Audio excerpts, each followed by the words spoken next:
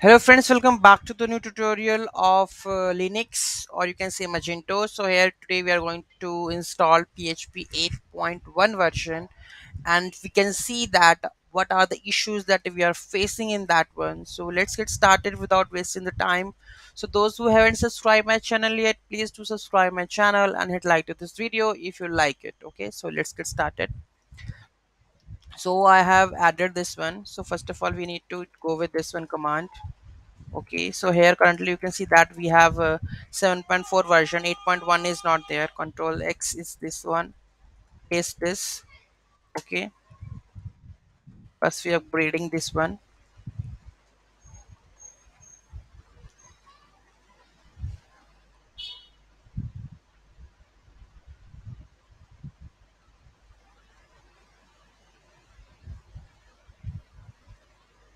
done. Moving to the next one.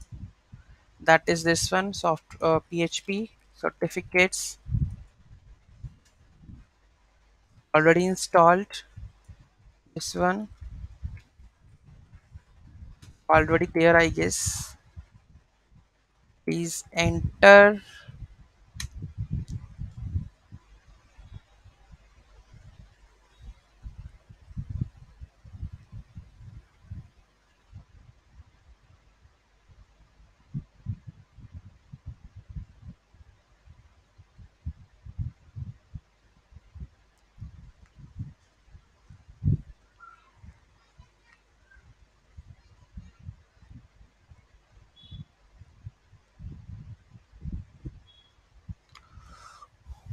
okay let's go for the next one.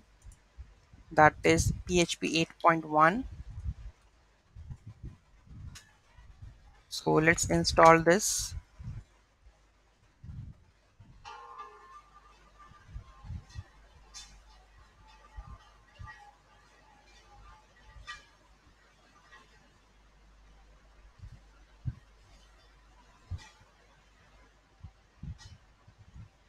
so it is done. Let's install all the extensions with this one.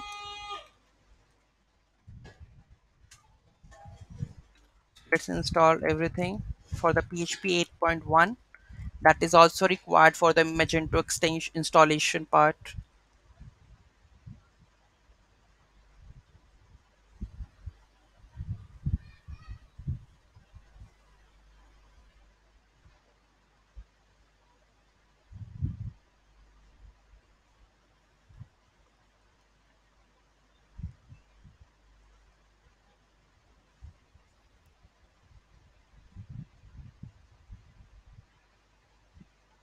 so this is installed.